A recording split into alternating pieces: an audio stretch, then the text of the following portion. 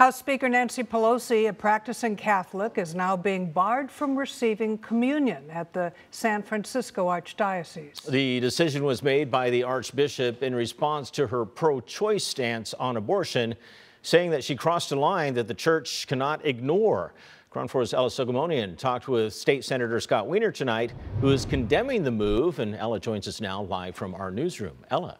Ken and Catherine, Senator Wiener says that this is a shameful move by an archbishop who continues to be out of step with San Francisco's values.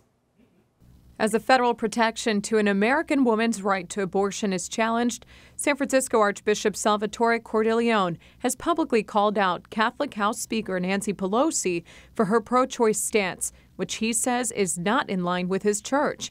For that reason, he sent her a letter Friday explaining that he determined she is not to be admitted to Holy Communion.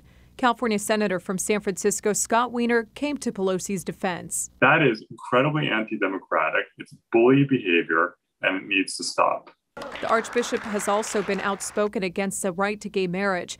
And a few years ago, a group of more than 100 Catholic leaders took out a full page ad in a local paper asking the Pope to remove him because of his divisiveness. Senator Wiener claims Cordileone was sent here by the last Pope as punishment to be a sore in the side of a progressive city. It would be fantastic to have an Archbishop here who really cared about this community, who might disagree with, or might not agree with every single position that San Franciscans take, but who at least makes an effort to understand this community. The Archbishop maintains that Pelosi is perpetrating grave evil and has not responded to his attempts to speak with her. In 2014, a nationwide survey said 24% of women who got an abortion were Catholic. Senator Wiener says Pelosi is just fulfilling her duty to her constituents by protecting Roe v. Wade.